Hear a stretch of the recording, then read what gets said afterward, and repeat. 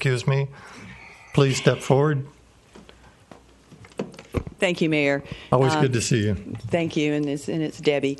Um, you know, I'm going to um, address real quickly this uh, utility sale. And this has been an issue, and, and Councilman Kramer is correct. This has been going on for many years, not just the last three years. This has been going on probably since 2007. And um, in the comment that the attorney made about uh, FMPA uh, is absolutely correct. This in the beginning, FMPA did not want to be part of this contract negotiation in the beginning because they said it was a contract that was between the city and F- FPL. So in the very beginning, FMPA said they didn't think it was appropriate to be part of the contract negotiation because um, the contract was between F- FPL and the city. Um, when in reality, they have been the key part of this whole transaction. FMPA, from the very beginning, could either help make this work or they could kill the deal.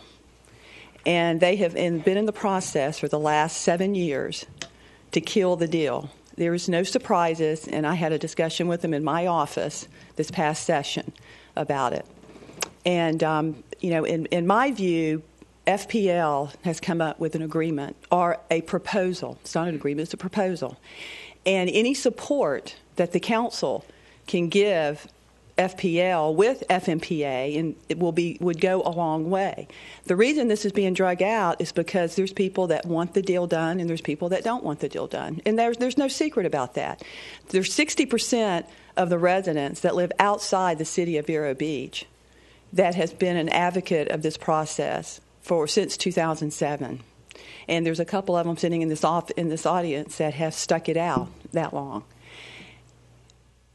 The longer you drag it out, the more it's going to cost. And that cost is no, no one's fault except for FMPA's fault. So when people criticize and say that the rates are going up, the longer we pay these attorneys, the longer we drag this out, the rates are going to go up. That's true because the cost is going to go up. So anything that the city council can do to encourage, because your contract is with FMPA, which is beyond me because they're a quasi government entity that has no oversight except for the people that has a financial interest in them staying in existence. So when we say taxation without representation, that's exactly what it is. Because the decisions that they're making, they're making for their own personal reason to stay in existence. The other people out there that are, that are not part of electing them are the ones that are losing out. So, you know, I would just encourage that everyone get together and try to make this deal work so it doesn't drag out any longer. And FPL, I think, has done a great job in overcoming all the boundaries that FMPA has put in front of them in order to make this deal fail. So, the mayor, that's you guys have done a phenomenal job to keep this in front, and I would just hate to see us go backwards when we're so close to a good plan being negotiated out for all the ratepayers in the city. Thank you. Thank you, Debbie. Are there any other more Mayor, comments? really quickly, there were a number of people in the um, from the community who planned on speaking specifically on this issue, and they wanted to speak a little bit uh, to what uh, our first speaker spoke on. Um, would it be possible to let them come up? A number of them do have to get back to their offices. Uh, if the council has no objection, We, we've got two presentations. I mean, they're waiting too. Uh, just- if we just stick to the agenda, you're not going to have any arguments. okay, I'll agree with that, Jim. Stick to the, the agenda. Uh, Mr. Brian Lapointe, good morning to you. Thanks for your patience. Good morning, um, and thanks for the invitation to come here today and uh, present some information to you, to you on our research. Um, I'd first like to thank my assistant, Laura Herren, who uh, is on the front page of the Press Journal today. I don't know if you've seen it. Yeah. The title Killer Lagoon Toxins, uh, which is an update on our research on the health of the lagoon. Uh, I'll touch on that towards the end of my talk today. Now, the talk is uh, an update of a talk I gave back in March at Commissioner uh, Tim Zorc's Indian River Lagoon uh, workshop. And this is going to include a little bit more information in it. Um, it's going to be a little bit technical. It's got a lot of kind of scientific data that I'm going to walk you through and interpret um, what these data mean. Now, I've been working with Harbor Branch for a long time. My research on the Indian River Lagoon really just began a couple of years ago with this particular research. A lot of my work on nutrients and water quality has uh, focused uh, on other areas in South Florida, Sarasota Bay, the Florida Keys, uh, Florida Bay, and what we've learned, we've learned a lot uh, over uh, the time period I've been doing this work about the, uh, the health of our coastal waters, in particular, how they're affected by nutrient pollution. And uh, because of the work I was doing in the Florida Keys and around the Caribbean, I was asked by the U.S. National Academy of Sciences to help write this book on clean coastal waters, understanding and reducing the effects of nutrient pollution.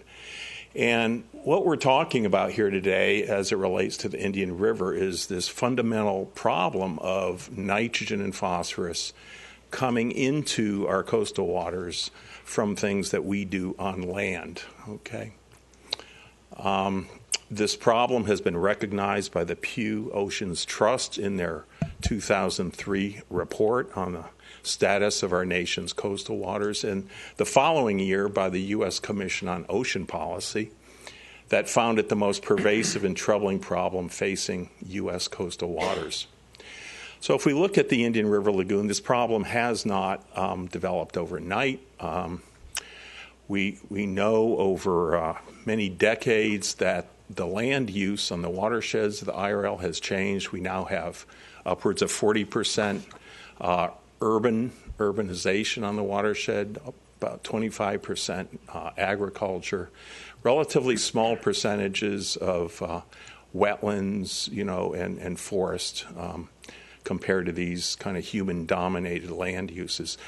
What this has done is brought in increased nutrients, nitrogen, phosphorus, uh, into the lagoon, and it's um, it's created a problem we call eutrophication as scientists. And this is, of course, these nutrients result in algal blooms, uh, low oxygen conditions, and also harmful algal blooms, toxins that can be produced by some of the species of algae that are responding to these nutrients.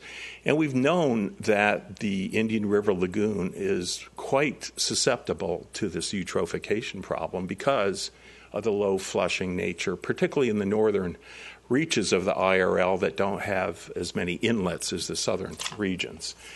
And uh, based on a study back in 2007 um, by Suzanne Bricker with NOAA, we knew back then, given the moderate uh, to high nitrogen inputs and the problems we already saw, that algal blooms were likely to worsen.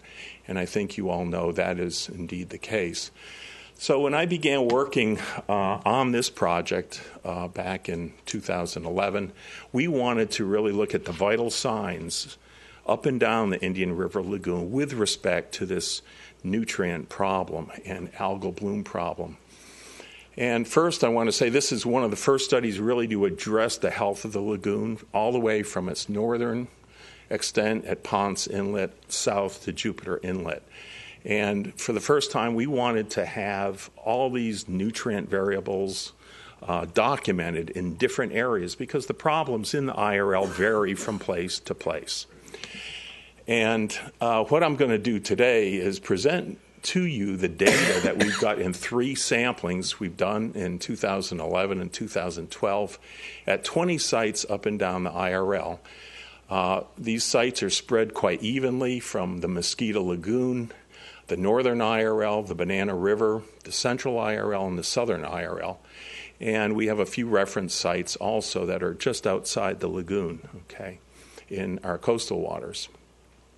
And at these sites, we went out and collected seawater that we measured nutrients in, nitrogen and phosphorus. We also collected the algae because they can tell us a lot directly about the source of the nutrients.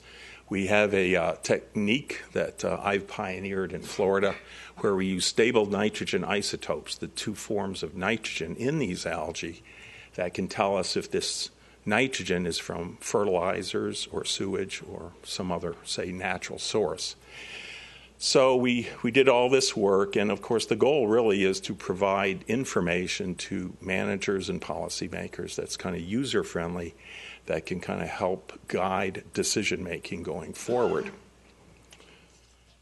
Okay, the other thing I did uh, for the previous workshop to make this really relevant for us here in Indian River County is I'm going to break out the th- three of the sites in the central Indian River Lagoon segment that we monitored. Are, are right here. Uh, one of our stations is at the mouth of the St. Sebastian River. A second site is at the uh, very close to the, the main relief canal mouth. A third site is near the South Canal, and we have a, a reference site there at Ambersand Worm, Wormrock Reef. So, as I present the overview of the data, we're going to have little hash marks that show how Indian River County relates to what we found more broadly in the IRL study. So, what we did, of course, we went out, we've gone out three times now throughout the lagoon, collected the water, the algae. Uh, we bring it back into the lab where we process it at Harbor Branch for measuring both the dissolved nutrients and the uh, the nutrients and the stable nitrogen isotopes in the algae. And so, first, let me just show you the salinity data. As I mentioned, these nutrients are in fresh water coming into the lagoon. So, what we see immediately with salinity are differences lagoon wide. Highest salinities up in the Mosquito Lagoon. Now, these, these graphs I'm going to be showing are all done in the same fashion. You can see the the abbreviated names for the different segments Mosquito Lagoon is ML, Banana River BR, the Northern IRL, NIRL, Central IRL, the CIRL, and the Southern IRL uh, over on the right, SIRL, with the reference sites on the very far right. And the little yellow hash marks are the Indian River County averages. So you can see how those numbers here relate uh, both to the central IRL data and more broadly to all the data lagoon wide. So, for salinity, for example, you see the Mosquito Lagoon, very confined, a lot of evaporation, not a, as much freshwater input. We saw the highest salinities, for example, up there. The lowest salinities are right here in the central IRL. Okay, and over the course of the study, going from the dry season in 2011 into uh, the wet season of 11, Okay, that dry season was actually July of 2011. Uh, the wet sampling was in November of that year, and then the wet season 2012 was November uh, of 2012.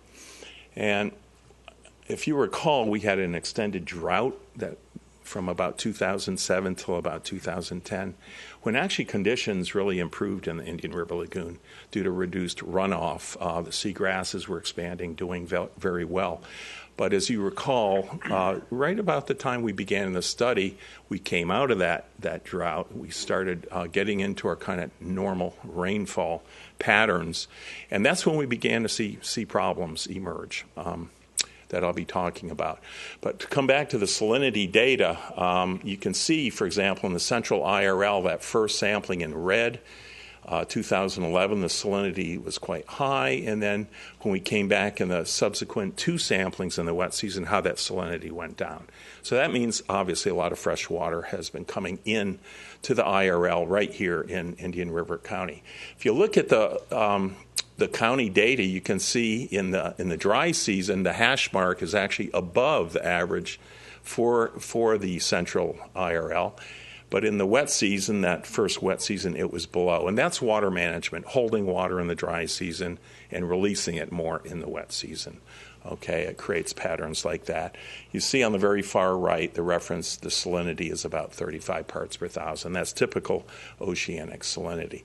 So we have a lot of fresh water coming into the IRL here. Uh, not as much as the releases from Lake Okeechobee, okay, in the St. Lucie area, but uh, they weren't making releases during any of these samplings. So if we look at the amount of algae in the water, the chlorophyll A, what did we see? Well, you can see very quickly the trend here is more chlorophyll as you move from south to north. Uh, in the summer sampling uh, of 2011, that first dry uh, what we call a dry season, that was just when we were beginning to see a lot of rainfall. Okay, this could have been, for example, a first flush event of nutrients coming into the lagoon. With that increased rainfall, we saw the super bloom in the Banana River.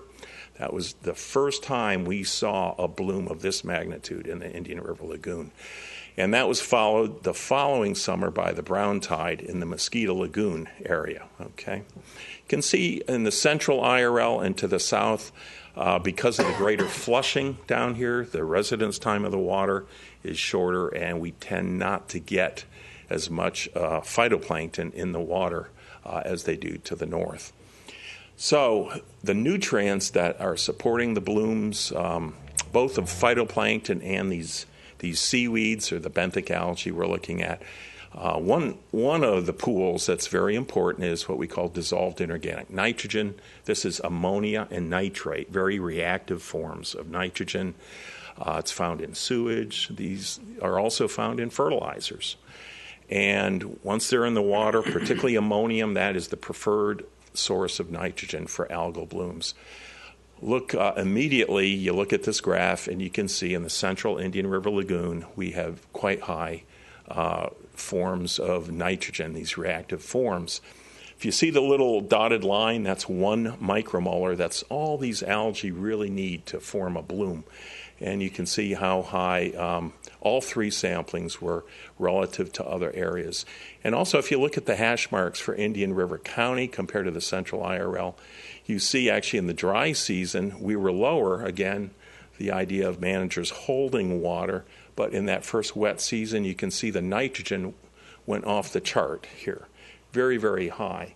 And the point I want to make when, when these reactive forms of nitrogen get this high, they can actually cause uh, die off of things like seagrasses. They can become toxic under very high concentrations, for example, of ammonia, particularly. Uh, with warm temperatures, the, the synergistic effects of high nitrogen and high temperatures, we know, is a big stress for seagrasses. Uh, phosphorus, uh, you can see pretty much the same pattern as we just saw with nitrogen. Very high phosphorus in the central IRL. Again, this is soluble reactive phosphorus, the most reactive form of phosphorus. These algae need both nitrogen and phosphorus to form blooms. And we see again in the uh, in the second sampling how actually those values were, were kind of off the chart here, high. Uh, this total dissolved nitrogen is a, a, the larger pool of nitrogen, and it includes what we call dissolved organic nitrogen, which is the form of nitrogen that supports brown tides. And it, interestingly, you can see how uh, that increases going from south to north, quite high concentrations in the Banana River uh, Mosquito Lagoon in the northern IRL. So it, it, looks like this form of nitrogen may be building up in the lagoon because of the long residence time of water in the north compared to the south. You can see the IRL target there of 50 micromolar for total uh, dissolved nitrogen. You can see pretty much from the central IRL north, we're over that target, meaning uh, this is uh, uh, indication that we would like to see these concentrations go down to control these algal blooms. Total dissolved phosphorus, um, you can see, as we saw earlier with the soluble reactive phosphorus, it too is very high here in the central IRL, likely being delivered with the fresh water, uh, the, the lower, those lower salinities that we saw here. Uh, the, the ratio of nitrogen to phosphorus is also important to the types of algae that bloom and also to the development of toxins in the algae. Okay, here you see a pattern, very clear, uh, increasing nitrogen to phosphorus ratios as you go from south to north in the lagoon. Values above about 30 indicate phosphorus limitation values under 30 nitrogen limitation of these algal blooms. So that strong phosphorus limitation in the northern part of the IRL is due to the nitrogen buildup that's occurring. The algae grow, they exhaust the phosphorus, and we think this is maybe one of the key factors that's leading to toxin production up there. When these algae grow, they bloom, then they become phosphorus limited. That's when, in many cases, they begin producing toxins. Uh, the algae that we sampled uh, for the stable nitrogen isotopes, uh, these are just some of the, the various species that are common bloom formers in the Indian River Lagoon. The one on the top left, Gracilaria tikvahiae, that is the seaweed that's eaten by the manatees as they've lost their food source, the seagrasses. They have switched their diet to this bloom forming alga that uh, forms thick mats uh, in the Indian River Lagoon. And this is uh, what I'll talk about in a minute that we sampled uh, about a month ago uh, to look for toxins. Okay, we can look at the nutrients actually in the algae to see how they're responding to the water nutrients that I just presented. This is the carbon nitrogen ratio in the algae themselves. And that value of 12 you see there, we know when the, this ratio gets above that, the algae become limited by nitrogen, meaning their growth rate slows down. And as I mentioned, they could begin producing toxins uh, under those scenarios. Well, if, if you look at the Banana River, for example, you see quite high C to N ratios. That's where that gracilaria came from that we've documented toxins, okay? Uh, we see the central IRL has fairly low C to N ratios. So, in that case, those particular algae have a lot of nitrogen, and that's not surprising given the low salinity and the high uh, ammonia and nitrate that uh, we found at those sites. The carbon to phosphorus ratio, as we saw in the seawater, we see a trend of increasing ratios in the algae going from south to north. And I just want to point out look at the really high value there uh, for the wet season sampling last year. That was during the brown tide when that big, big bloom was stripping all the phosphorus out of the water. So the benthic seaweeds that we're sampling, you can see how phosphorus limited they became. And once again, again, those are the conditions that can induce toxin production. Nitrogen to phosphorus ratio, uh, similar trend, increasing values moving from south to north. Same effect there in the Mosquito Lagoon with the brown tide effect. Very, very high N to P ratios, high degree of phosphorus limitation. Okay, now this, this is the data set I think that probably is most interesting to to people here because this really relates to the source of the nitrogen supporting these algae blooms in the lagoon. And let me just walk you through what, what these data represent. Um, the stable nitrogen isotope, the unit there we call parts per mil, and this is basically the ratio of nitrogen 15 to nitrogen 14. Those are the two forms of nitrogen uh, on our planet. And by looking at that ratio, we can tell the source of the nitrogen, kind of like DNA fingerprinting. Um, atmospheric nitrogen has a value of about zero. Okay. Now, fertilizers, because they're made from atmospheric nitrogen, are very close to zero. They can range up to perhaps plus two parts per mil. Okay, and the rule of thumb we use uh, in the studies of isotopes when we look at uh, food web structure, you are what you eat plus two parts per mil. So, for example, a human, uh, say, feeding on a plant, say a vegetarian that's eating plants grown on fertilizers, if that fertilizer signature was plus one, the waste from that human would be about plus three, okay, plus two parts per mil over the source signature. And so, what we find, uh, and this is based on a wide number of studies done by many, many scientists around the world, is that when you get up to a value of about plus three, that you begin to get in the, the wastewater range, okay, of human sewage. It starts there and it can go up from there depending on the degree of, say, treatment of wastewater. Typically, septic tank effluent has values of about plus three to plus four or so. And uh, as that nitrogen gets into the groundwater and migrates through the groundwater or into surface water, a tributary or canal, you get uh, bacteriological processes, nitrification, denitrification, that can then what we call fractionate and, and move that value up to higher values. And that happens in a sewage treatment plant as well.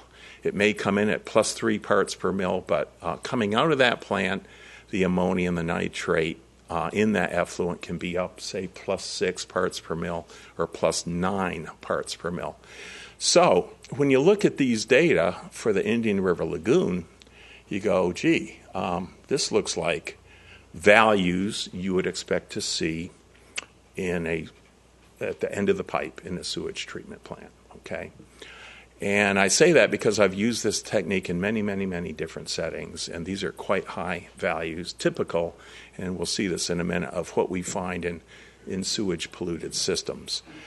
Uh, if you look at the central IRL, once again, you saw we had a lot of fresh water coming in. Look how high the values are in the central Indian River Lagoon. In particular, Indian River County, that hash mark in our last sampling is one of the highest values we got uh, throughout the lagoon. This is just for comparison's sake. Um, here's the Indian River Lagoon, Florida, shown in red, comparing that with other uh, areas that we know are heavily impacted by sewage nitrogen. Roberts Bay, Florida, that's one segment of Sarasota Bay. It's tens of thousands of septic tanks on it coming down Philippi Creek. Um, if you go over to the right side of this plot, you see Sarasota Bay. That's the bay wide average, uh, getting down closer to three, not quite as high. In fact, there are segments in Sarasota Bay that are below three, the very cleanest areas of Sarasota Bay. Uh, Boston Harbor, uh, the values reported there, uh, well known sewage polluted harbor, you can see is neck and neck with the average for the Indian River Lagoon. Um, the Quashnet River, Mass, some of my colleagues at Woods Hole Oceanographic have done extensive studies of many of the estuaries on Cape Cod that rely on septic tanks. Um, you can see those values are up there as well. Big Pine Key, uh, the Florida Keys, as you know, has had serious issues with septic tanks. Um, those are the values in those canals. It's actually a fecal coliform from septic tanks, from sewage in the Florida Keys that is a pathogen that killed all the elkhorn coral, most of it in the Florida Keys. Okay, this is kind of a new to science thing, but we have discovered that as scientists just in the past few years. Western Florida Bay, the far right, I just wanted to point out. Fertilizers obviously can also contribute nutrients that contribute to these algal blooms. Florida Bay has gone through many of the problems we're seeing in the Indian River Lagoon. 100,000 acres of seagrass was lost in the late 80s and early 90s as more and more water came in from the Everglades, high nitrogen water from agricultural sources, fertilizers, topsoil nitrogen. These blooms were devastating to the bay and the reefs. But look at the value. Values down below three. That's in the range of fertilizer nitrogen. So you have to really look at all these sources sewage, fertilizers, they all can contribute to this problem. Well, after seeing the data, we, we of course um, realized that we, we have a real issue here with septic tanks uh, on the Indian River Lagoon. And uh, about the time we were um, looking at what to do next, uh, a student appeared in my laboratory that really wanted to work on this problem. So we are just beginning a project, and this is in collaboration with the county, with Cheryl Dunn, the uh, Department of Health we're going to be looking at the St. Sebastian River, four sub watersheds in Indian River County. The St. Sebastian River system, the North Canal, Main Reef Relief Canal, and the South Canal.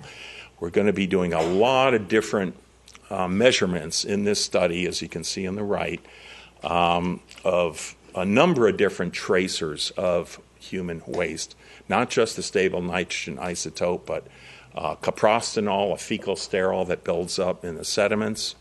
Uh, it's really a better, better uh, variable, say, than fecal coliform bacteria because it builds up, it doesn't go away. Um, we're also looking at optical brighteners that are used in, in laundry detergents. So that, that study is really just starting to get rolling now. Um, now, I know there's a lot of doom and gloom here today, uh, particularly in this talk as it relates to the IRL. But I do want to say this problem can be turned around, and it has been turned around in Tampa Bay. Um, I'm a graduate of the University of South Florida, and when I went there uh, in the late 70s, Tampa Bay was a mess. Uh, a lot of the problems we see in the Indian River Lagoon were being manifest. Um, and again, it followed decades of urbanization algal blooms had developed uh, as a result of the nutrient inputs. Seagrasses were dying out. Uh, severe algal blooms, particularly macroalgae, that were rotting, causing odor problems. And that was the trigger for the public, the odor problems. Uh, some of the big houses there on Hillsborough Bay, those owners didn't like smelling these severe hydrogen sulfide odors uh, emanating from the bay, particularly at low tide. So that led to the Grizzle-Figg Act that required advanced waste treatment from sewage back in, in the late 70s and early 80s. And it was the removal of nitrogen in that particular system because there's a lot of phosphorus in that water over there naturally and, and due to the, the mining operations. But 90% of the wastewater nitrogen was removed going into the bay uh, through the Grizzle-Figg Act and other other attempts to control urban, industrial, and agricultural stormwater coming into the bay. So the good news is they've already, by nutrient reduction, have led to 8,000 acres of seagrasses that have recovered in the bay. And the goal is to get back to the 1950s acreage of seagrasses, and they need to get 10,000 more acres to, to get to that point. And th- this is a classic example of where science is integrated with management to make good things happen. And these are the steps that they took in the Tampa Bay Estuary Program with their partners to set specific seagrass goals of what they want to restore. In this case, 38,000 acres is the total acreage they wanted to achieve. They determined the light requirements of the seagrasses because the more algae in the water, the less light to the seagrasses. It's one of the major factors causing the seagrass decline. Determine the water clarity levels necessary to provide that light to meet the seagrass acreage goals. And then determining the chlorophyll A concentrations that allows that water clarity to meet to be maintained.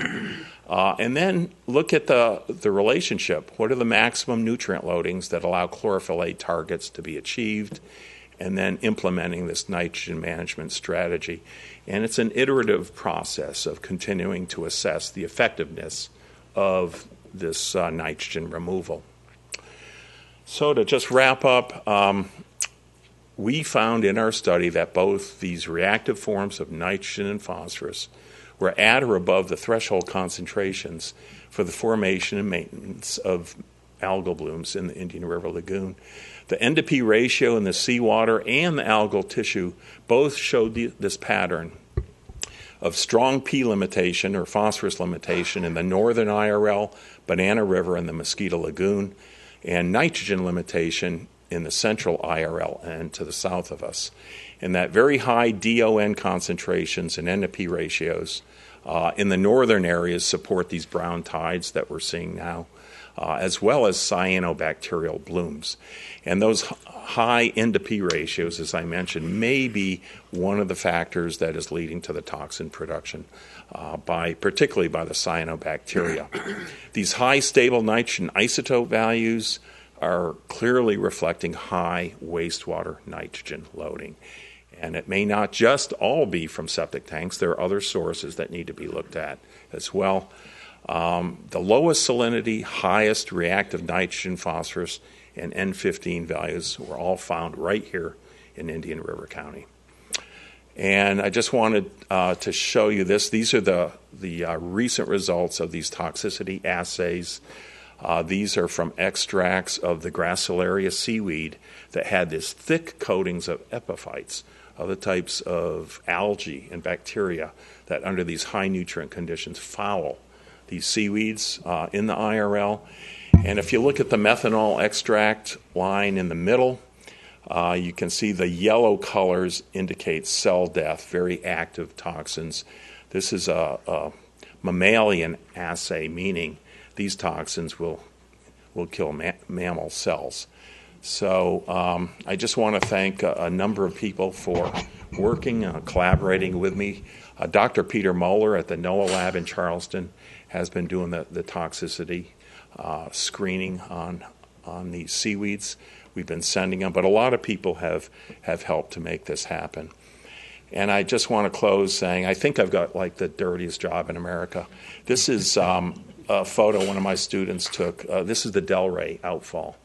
And we've used these same techniques looking at this, the impact of the sewage outfalls between Miami Dade and Palm Beach County. And it was back in 2007, 2008 that legislation was drafted by DEP, and many contributed to this once we had the stable nitrogen isotope data. So if you look at the utility permits, and uh, you know, they thought all the sewage was like being carried away by the Gulf Stream, you know, but it was obviously building up in our in our coastal waters and fouling the nest. So anyway, with that, uh, the good news is this particular outfall is already closed down, and there are plans to uh, phase out the other outfalls as they go to more higher levels of treatment, AWT, and reuse of that water. So with that, I just want to thank you for hanging in there. Thank you, Mr. Lapointe. Are there any questions for Mr. Yeah, uh, Lapointe? Dr. Lapointe, uh, the uh, act you refer to, Griswold, I didn't get it. Grizzle-Figg. What was specifically? Well, it was uh, uh, an act that called for mandatory nitrogen removal from sewage. Uh, only on the West Coast, though. It's geographically bound. I think the, the area was from Tampa Bay south to Charlotte Harbor. So it, it doesn't affect this coast or other other parts of Florida. But I think the reason they focused on that area because they have such high background phosphorus concentrations. Adding a little bit of nitrogen in that high phosphorus is like in putting fuel on the fire. So. Mayor, thank I have you. a question. Yes. Uh, Dr. Lapointe, you stated that we are at or above the threshold concentrations for the formation of microalgal blooms in the Indian River Lagoon. Are you saying that right now we're on a precipice that we may see imminently algal blooms, brown tides taking place within our area? in the in the Indian River County area. Uh, we already have blooms of macroalgae here. Now we haven't seen the brown tides yet. Okay, the brown tide organism likes those high N to P ratios that are up in the Mosquito Lagoon right Okay. now, and it also we think likes the high salinity. So salinity can determine what species bloom. You got to have the nutrients though to support that biomass. So it may be a different alga that might bloom, and I I've heard some reports of blooms recently in the Indian River County area. Uh, we haven't been out there. I think you know we had a, uh legis- uh, a request to purchase these LOBOs, which this is seasonal sampling where we go out every six months or so. Uh, those LOBOs, we needed those to be able to track real time the dynamics, uh, the blooms, the nutrients coming in and going, and the salinity. Uh, as you know, the governor vetoed that request, so we don't, we aren't going to have those uh, to support our work. But we do have a NSF uh, proposal pending that might uh, get three of those, uh, hopefully, in the near future. And what is why did you request equipment that was Canadian made when certainly there are American made, comparable American made equipment that would do it? They're actually American made. Most of the components are American made. It's a Canadian company that actually put the components together. But yeah, that's May, may have helped with your legislation. well, it wouldn't help the science though. These these are the the gold standard, the LOBOs. Uh, we we've been using one of those instruments for years in my lab, and it's it's um, it's got a long proven track record of performance. Yeah. Thank you, Mr. Lapointe. I'm sorry, one more, another question, sir. Based on your data, though, you're saying definitively that the fertilizer issue that we have tried with fertilizer um, uh, t- rules and, and, and placement of rules on the individuals applying fertilizer are not actually the problem. Based on your science, we're seeing that it's sewage treatment, nitrogen that is causing the Yeah, issues that we're well, seeing right now. No, th- that's not really what I said. um, if we if we back up, let me back this up a little few slides here. Really, both those nitrogen sources need to be reduced. Um, we go back to the N15 slide. This Right. slide here. Now, these values are reflecting sewage nitrogen. They're in the range we often see. But if we didn't have fertilizer nitrogen come in, these could actually be higher. Okay? So when you have multiple nitrogen sources coming in, okay, um, it can tilt the balance. So if we go, for example, the next slide, look at Florida Bay. The bulk of the nitrogen in Florida Bay is fertilizer nitrogen coming from agriculture. You see its value on the very right hand side is down below three. Now, that doesn't necessarily mean there's no sewage in Florida Bay either, but it is the sewage, uh, the fertilizer nitrogen is the dominant form of nitrogen. Okay? So the bottom line is you've got to really go after all the sources of nitrogen. Thank you. Thank you, Mr. Lapointe. Ms. Adams? So like,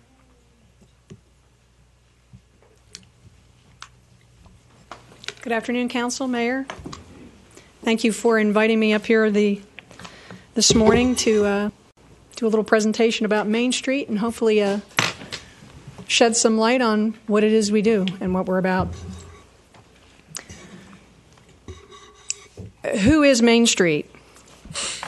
Main Street, we're a group of interested professionals, property and business owners, government officials, residents, and a board of directors that support a return to the community self reliance by emphasizing downtown's assets of personal service, local ownership, unique architecture, and the arts.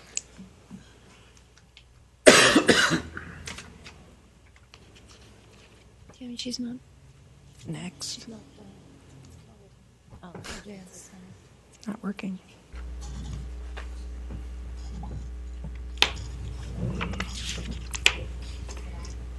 Uh, no, I think it's on.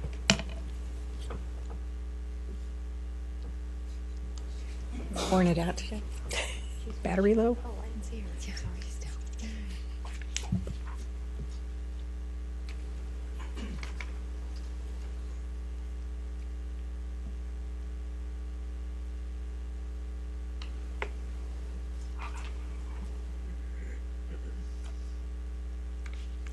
They wore them out. Mm-mm.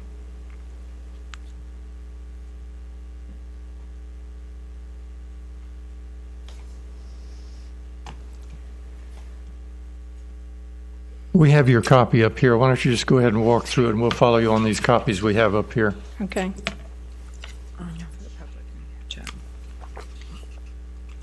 Here we go. Who is Main Street? Well, we all work together to create a sense of community and make downtown Vero Beach an attractive place to work, shop, live, and play. Since 1995, Main Street Vero Beach has been a member of the National Main Street Center, which is a subsidiary of the National Trust for Historic Preservation. And also since 1998, Main Street Vero Beach has been an official Florida Main Street program through the Florida Department of State Division of Historical Resources. Here are our affiliations and what that means to us and what they provide. A, a proven strategy for revitalization, a powerful network of linked communities, and a valuable guidance system and established programs that lead the field. Why should we revitalize downtown? Primarily, it builds positive community image, it reflects confidence in the future, it creates job opportunities, it attracts new business and industry, it saves, stabilizes, and improves tax dollars, it protects current downtown investments, and it preserves our historic resources and heritage. The Main Street approach in action nationally has spanned three decades. Locally, we've spanned 15 years. Nationally, it's taken root in more than 2,000 communities, and it has definitely taken root here in our historic downtown community. Nationally, it's spurred 49 billion in reinvested reinvestment in traditional commercial districts. And here locally, it's spurned 11.4 million in reinvestment in the downtown Main Street district. It's galvanized thousands of volunteers nationally and hundreds of volunteers here locally that have resulted in 4,159 volunteer hours. and it has changed the way that government planners, governments and planners and developers view preservation. And locally, we've worked with the city and county governments, local planners and developers, property and business owners to build consensus and cooperation for revitalization among the various stakeholders downtown. So here's some stats. It's kind of interesting. And these national estimates that we'll start off with are from 1980 through December of last year. $55.7 billion have been reinvested in Main Street communities across the nation. It's resulted in 109,664 net gains in businesses in those communities, 473,439 net gain in jobs, 236,201 building rehabilitations, equaling for one dollar every dollar invested nationally 18 is returned in reinvestment. Now how does that equate to us locally our estimates are from our inception as a main street program in 1998 through december of last year.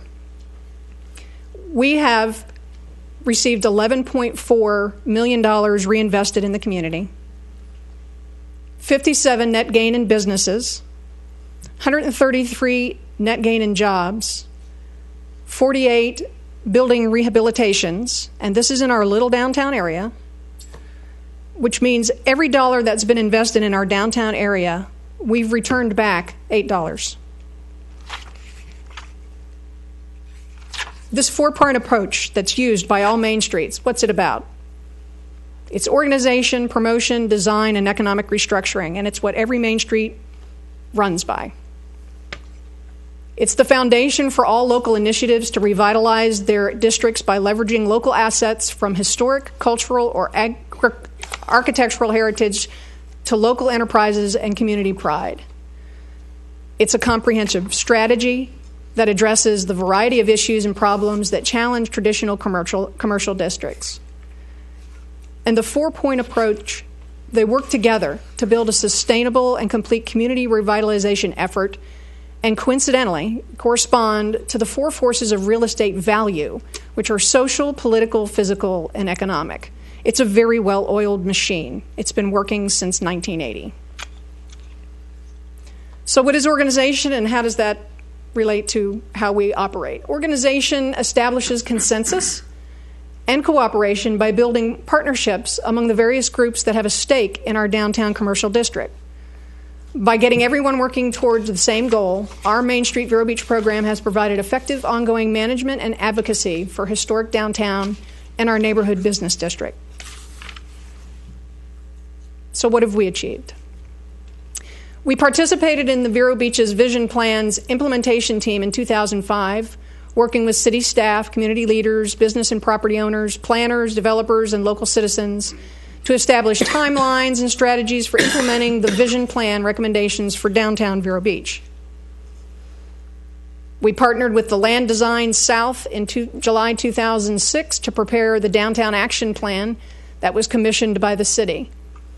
We funded and worked with Ramon Trias, helping present to the public at the community center a Route 60 twin pairs charrette in September 2005 and a downtown charrette in September 2006. And we supported the creation of a business improvement district and are currently spearheading business and property owners from all corners of the district to create the bylaws and set up governance and brainstorm a list of ideas for capital improvements. And this BID was established under Ordinance 2012 07, was adopted by the city here on May 15th, 2012. So, what are our goals from an organizational aspect? We're going to work with city planning and development staff on the white paper that will propose an amendment to the comprehensive plan that will incorporate including an objective and supporting policies for the downtown with data and analysis using as a starting goals as a basis. The 2010 Evaluation Appraisal Report, or EAR report, documented that addressed the Downtown Action Plan and other issues affecting the downtown and was adopted by the City Council. And also, we plan to, within the requirements of the Economic Development Zone Ordinance, work with the ad hoc steering committee towards the designation and implementation of the city's first business improvement district for the implementation by September 2013. And after implementation, we plan on working with the city and the BID Board of Directors toward actualization of the BID defined capital improvement projects. Promotion, the second part of a Main Street approach. Promotion, of course, its many forms. It helps create a positive image that rekindles community pride and improves consumer and investor confidence in the commercial district. Advertising and retail promotions, special events, marketing campaigns help sell the image of our downtown and the promise of Main Street to the community and surrounding region. Promotions communicate our downtown commercial district's unique characteristics, business establishments, and activities to shoppers, investors, potential business and property owners, and visitors. So, what have we done so far? The annual Hibiscus Festival every April draws thousands of attendees from outside the area artists, vendors, overnight guests, and brings entertainment to the downtown area, creating a destination event. Our Downtown Friday on the last Friday of every month from January to March and May to November along 14th Avenue draws hundreds of attendees every month, outside vendors, and entertainment to the downtown area. We have a monthly Arts District Gallery Stroll on the first Friday of every month that draws hundreds of visitors to the fine art galleries along 14th Avenue and dine in many of the restaurants downtown. We assisted the city with their 90th anniversary birthday celebration that took place downtown in October 2009. And working with the city, we created the downtown map in 2010 in partnership. So, what are our goals? We have a lot planned in this area. We're going to be adding elements to the Hibiscus Festival that will result in more attendees and participants requiring overnight stays. We're going to revitalize our monthly Downtown Friday through collaborations and with downtown businesses and organizations by offering creative themes and special entertainment attractions to attract more and varied attendees. We're going to add new events and partner in other events and create a PR campaign to promote downtown as a destination spot highlighting its artistic, historic, and gastronomic features. We're going to work on a walking map app with the Chamber to attract a larger demographic to downtown. We're going to create a brochure type postcard listing our events and our purpose for distribution to the hotels and motels and businesses in the area. We're going to ramp up our social media presence on YouTube, Facebook, Twitter, and revamp our website. We're going to create unique Main Street member meetings biannually that offer proven ideas, effective processes, creative programs, and more from our national and Florida Main Street experts and consultants. And we're going to put out there that we would be interested in hosting a quarterly Florida Main Street quarterly meeting to bring other successful Main Streets, uh, their professionals and business owners and investors to the area. Design. Design means getting Main Street in top physical shape and creating a safe, inviting environment for shoppers, workers, and visitors. It takes advantage of the visual opportunities inherent in our downtown commercial district by directing attention to all of the physical elements public and private buildings, storefronts, signs, public spaces, parking areas, street furniture, public art, landscaping, merchandising, window displays, and promotional materials. Design also means instilling good maintenance practices in the downtown commercial district, enhancing downtown's physical appearance through the rehabilitation of historic buildings encouraging appropriate new construction, developing sensitive design management systems, educating business and property owners about design quality and long term planning. So, what have we done so far in design? We completed the pilot project of the prioritized streetscape improvements of the Downtown Action Plan along 14th Avenue between 20th and 21st Streets that featured street lights, hanging flower baskets, planters, trash uh, receptacles, bump out landscape areas with trees, sidewalk enhancements uh, with pavers and benches. And we supported the lane reduction of State Road 60 twin pairs as proposed by the City of Vero Beach Vision Plan, MPO, and City of Vero Beach to ensure pedestrian safety and friendliness and help promote revitalization by joining back together the now split downtown area.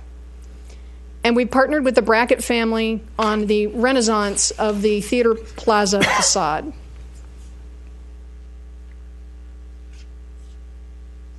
What are our goals? We want to establish a funding source for providing permanent, uh, uh, permanent um, Irrigation. oh, permanent irrigation to the hanging baskets and planters in the pilot project area along 14th Avenue. Um, we're looking into a couple of options. Uh, currently, we do have one option from Nanette at the city that that's going to cost about 2,700 to $3,000. And before we can proceed to phase one of the the streetscape design, we've got to mitigate and take care of, of addressing plant materials and making them stay green on the, uh, the uh, pilot project area. So we're working on that. We're working with the city and 14th Avenue businesses on implementation of the phase one um, of that streetscape um, once we resolve the first option there on irrigation. And we're also going to offer Main Street members design ideas from national and Florida Main Street speakers that have decades of experience in the trenches knowledge and proven expertise um, on design that will work for us. Economic restructuring. That's the fourth and final area of the Main Street approach. Economic restructuring strengthens our community's existing economic assets while diversifying its economic base. This is accomplished by retaining and expanding successful businesses to provide a balanced commercial mix, sharpening the competitiveness and merchandising skills of business owners, and attracting new businesses that our market can support. Converting unused or underused commercial spaces into economically productive property also helps boost the profitability of downtown. The goal is to build a commercial district that responds to the needs of today's consumers.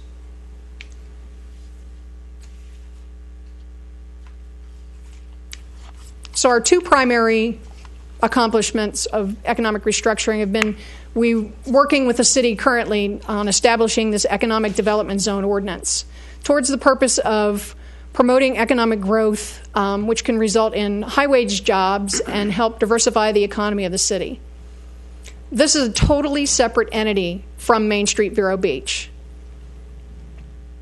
The zone or business improvement district, as we're referring to it, it'll be funded via incremental tax, which is the difference between the amount of property tax revenue generated before zone designation and then after zone designation by the city.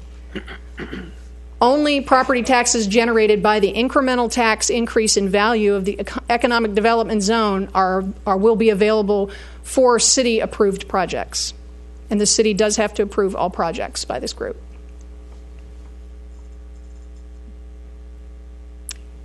And then we helped obtain the designation by the City of Vero Beach as an arts district, attracting more galleries and related businesses downtown. And we successfully lobbied for the traffic calming and adding additional parking on the twin pairs to create a more pedestrian friendly environment. So, our goals are to continue to work with the BID Board of Directors in the city uh, to successfully fund and implement desired capital improvements, and also offer useful and informative workshops and presentations by national Main Street consultants to our members and downtown business and property owners. And also to apply for grants for Main Street for implementation of the proposed downtown improvements. So, in summary, support of Main Street is essential.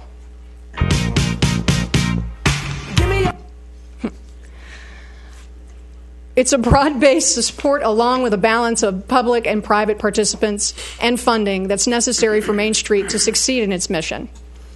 Main Street Vero Beach relies on help from local residents, civic organizations, schools, and other institutions, banks, utilities, media, and more. It's absolutely essential that our Main Street Vero Beach program be as inclusive as possible with a broad and varied cross section of the community committed to assisting and supporting the program. By working together, we can all bring people and commerce back to our treasured downtown. Give me your, give me your, give me your attention, baby. I gotta tell you a little something about. We filmed it at night. Play the one on the thing then. Give me your, give me your, give me your attention, baby. I gotta tell you a little something about yourself.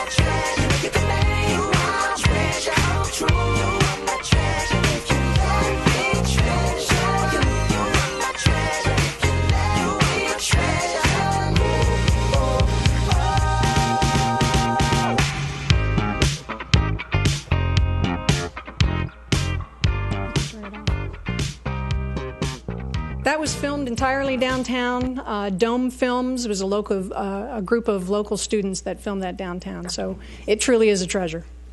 Any questions of Miss Adams?